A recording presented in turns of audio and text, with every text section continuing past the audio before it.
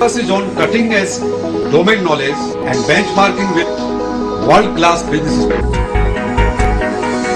Big Tech.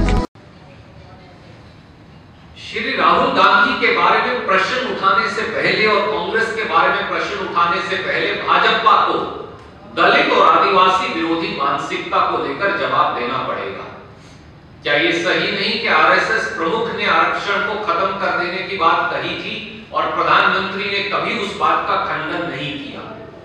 क्या ये सही नहीं कि मोदी सरकार ने दलित और आदिवासी सब प्लान को हिंदुस्तान के बजट से खत्म कर दिया? क्या ये सही नहीं कि दलितों और आदिवासियों पर बेइंतहासा अत्याचार मोदी सरकार में बढ़े और कई जगह उनके मंत्री भागीदार पाए गए? क्या ये सही नहीं कि जब ऊना में दलितों की चमड़ी उधेड़ी जाती है, जब डेल्टा मेघवाल को राजस्थान की भाजपा सरकार न्याय नहीं दे पाती। जब रोहित वेमुला को बंदारू दत्तात्रेय और स्मृति ईरानी के अत्याचारों के चलते आत्महत्या तक पहुँचना पड़ता है। जब मद्रास पेरियर स्टडी सर्कल को केवल इसलिए बैन कर दिया जाता है कि उन्होंने मोदी जी की आलोचना का साहस किया था। जब मोदी सरकार के एक मंत्री दलितों के बच्चों को कुत्ते देते हैं। तो प्रधानमंत्री मोदी एक शब्द नहीं बोलते, ना उन पर कोई कार्रवाई करते।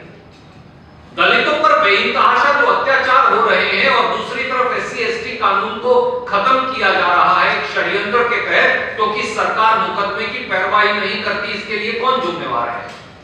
दलितों के बच्चों की, छात्रवृत्ति की राशि खत्म कर दी जाती है, काट दी जाती है। उसके लिए कौन जिम्मेवार है?